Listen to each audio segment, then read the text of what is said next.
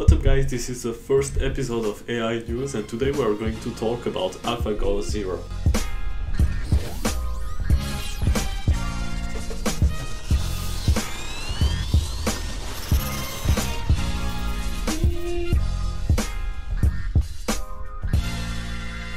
So my name is Selim Chehimi and once a week I will bring you and explain you the news from artificial intelligence and it will be on Thursday. Okay, so I just want to emphasize that it's not going to be a technical video, it's going to be really easy to follow because I want to bring you an intuitive understanding of the subject.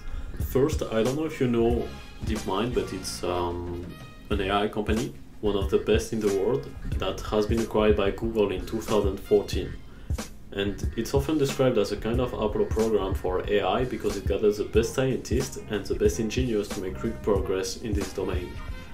And um, their goal is first to solve intelligence, and second to use step one to solve complex problems. So, for instance, it can be uh, climate change, it can be healthcare, and uh, they have created a computer program called AlphaGo.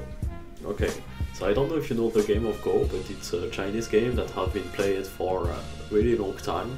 And uh, actually it's not even considered to be a game, but like a complex art form. And what is really fascinating about the game of Go is that there are more possible moves than atoms in the entire universe. So in fact, AlphaGo needs some sort of human intuition to work. And actually, it turned out that AlphaGo was just the beginning, because DeepMind just announced an improved form of the program called AlphaGo Zero. And this new system marks a significant technological jump from the AlphaGo program.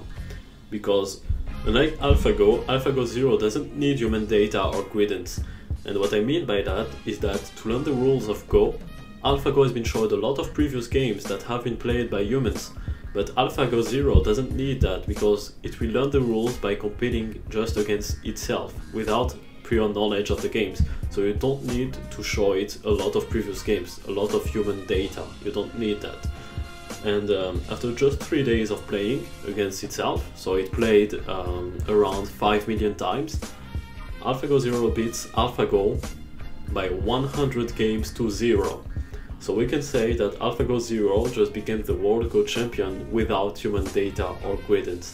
Thank you so much for watching guys, I hope that you liked this first episode of AI News. Obviously it's not perfect, but I will have time to improve. So you can tell me in the comments what you've liked, what you haven't, and uh, what is good, what is not, what I can improve.